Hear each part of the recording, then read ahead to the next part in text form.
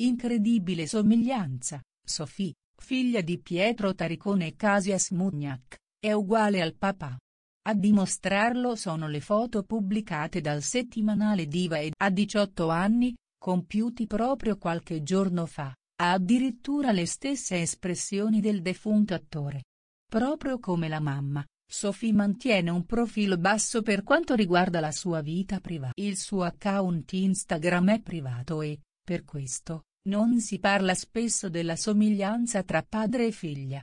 Ora Sophie Taricone viene immortalata in vacanza a Taormina, mentre passeggia insieme a mamma K. Le foto mostrano gli stessi lineamenti e colori, partendo dagli occhi finendo ai capelli.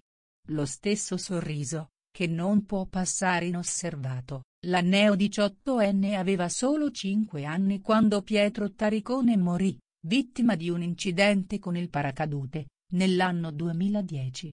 Quello fu periodo difficile per Kasia Smugnac, che trovò la forza di andare avanti grazie anche col passare del tempo. L'attrice di origini polacche è riuscita a ritrovare la serenità con il suo attuale compagno, il produttore Domenico Procacci.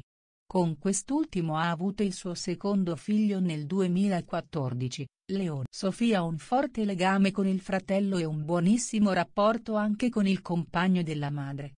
Ha posato insieme a loro, di fronte ai fotografi, sul red carpet del Festival del Cinema di Venezia. Procacci prese parte all'evento con l'amica geniale, mentre Casia con la profezia dell'armadillo. La 18enne ha un ottimo rapporto con la mamma si sono sorrette a vicenda per affrontare le difficoltà che si sono presentate. Sofia è l'unica figlia di Pietro Taricone e tra le sue passioni vi sono quelle per i viaggi e le fotografie. Questi sono altri dettagli che ha ereditato dal padre. Il 29 giugno 2010 le testate giornaliste riportavano la tragica notizia sulla morte del famoso attore.